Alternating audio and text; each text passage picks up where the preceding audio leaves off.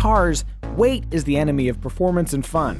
On a related note, the Fiat 124 Spider weighs about 100 pounds more than the svelte Mazda Miata on which it's based.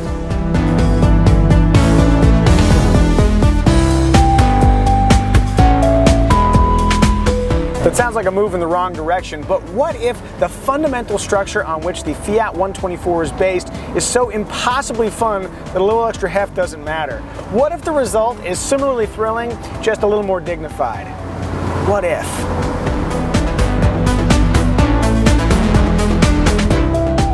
To help answer that question, let's scrutinize Fiat's Roadster. Side by side, it's clear the modern Spider has been sculpted to recall the classic 124 Spider of the 1960s. To really drive home that heritage story, the exterior paint names are outrageously Italian. I like the Bianco Gelato, but I really think if it came down to it, I'd go with the Rosso Passione.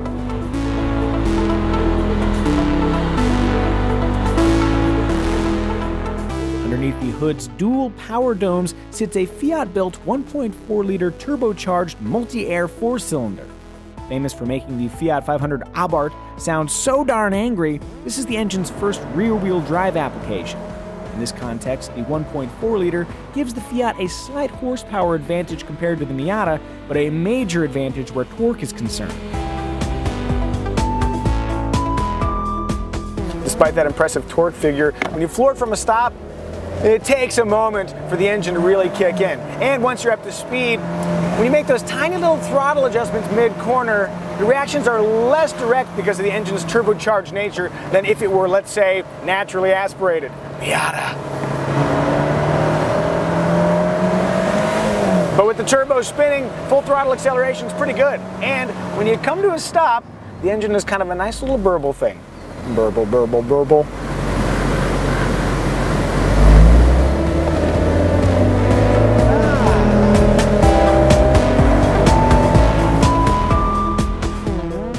Stronger off the line punch, stick with the standard 6 speed manual transmission included on all trims. Unlike the automatic, the manual lets you slip the clutch, keeping the revs up for a swift launch. Interestingly, the manual gearbox is sourced from the previous generation Miata due to its ability to handle the Spider's hefty torque. Even though it's older tech, the manual still delivers delightfully short shifts and light clutch efforts. That doesn't sound enticing, A, I'm sorry for you, and B, the $1,350 six speed automatic features a torque converter that locks in all but first gear for improved throttle response. It'll serve you just fine. Getting back to the issue of weight, the 124 Spider is heavier than its Miata counterpart, but not by that much. It's not like the Fiat 124 Spider is some dumpy ersatz Miata. I mean, like an extra 100 pounds is only a big deal if you're going racing. Are you going racing? Uh, oh, you are? Oh, yeah, yeah, yeah. No, getting me out of them. They're a lot of fun to race.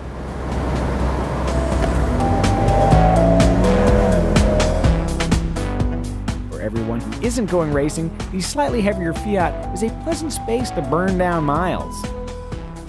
The Fiat spec interior is outfitted with lots of soft surfaces, agreeable places to put your arms, both here and here, and nice little touches like this bit of stitching on the dash. I don't know what the word in Italian is for class, but whatever it is, it's got it. The Lusso trim's piano black accents, leatherette trim, and leather seats, especially the optional saddle seats, peg the Spider's classiness quotient. Drop to the entry tier Classica trim, and the cabin is definitely less plush, with cloth seats and fewer premium materials, but the general vibe is still welcoming. At a completely average 5 foot 10, the cabin fits me well. Legroom and headroom with the top up are both plentiful. Really my only complaint is the non-telescoping steering wheel. If this baby came back about one inch, I'd be an even happier camper. Big like 6 foot 4 inch production guy James Halfacre, headroom is still great, but good luck finding somewhere to stow your legs. Dimensional concerns aside, the seats are nicely cushioned for long haul comfort and commendably supportive for cornering. Where the Fiat's interior really excels is with noise. There's an acoustic windshield, thicker rear glass, and extensive sound insulation throughout, resulting in a cabin that is noticeably quieter than the Miatas.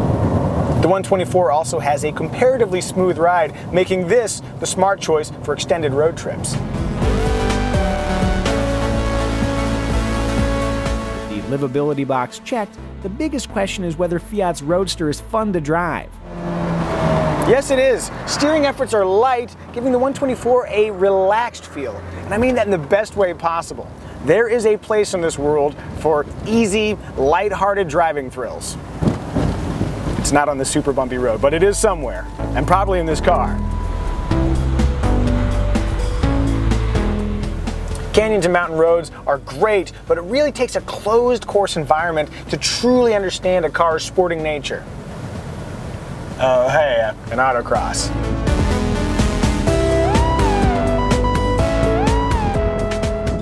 For the autocross portion, Fiat has us driving the Abarth model, which is a little bit sporty with a sportier suspension and uh, four more horsepower, four more horsepower, so a light boost. And the one we're driving in particular has this stuff. So uh, some braces, a bypass air valve that makes it sound cooler but doesn't actually provide any performance, and an exhaust that does the exact same thing. Let's see how it performs on the track. Oh, that sounds good.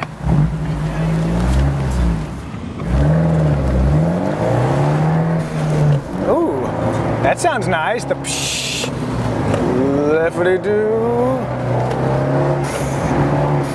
Well, that sounds ridiculous. It's both fast and furious.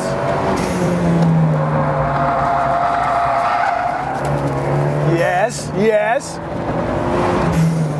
So it's driftable, which is nice. This thing is surprisingly good on a track. This notion that, oh, it's going to be a, a soft Miata. It's, uh, it's not soft. Uh, while I'm hauling around here, I should point out that I did drive the automatic and uh, it was similarly fun. But there was something really nice about this uh, manual transmission. In fact, it's the same manual that was used in the previous generation Miata and uh, works just great here. Nice short throws.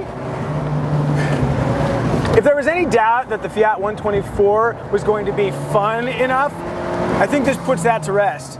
No doubt, fun,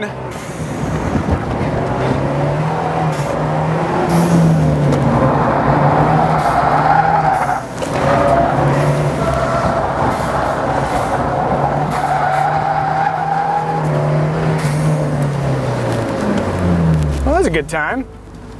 Did you have fun? I had fun. Despite being the raciest Spider, the Abarth is only 4 horsepower stronger than lesser trims, but it does include a sport suspension, a limited slip differential, a charmingly aggressive exterior, and the option to add Recaro seats, more capable Brembo brakes, and if you've got a spare $1,995, this sweet black hood and trunk treatment.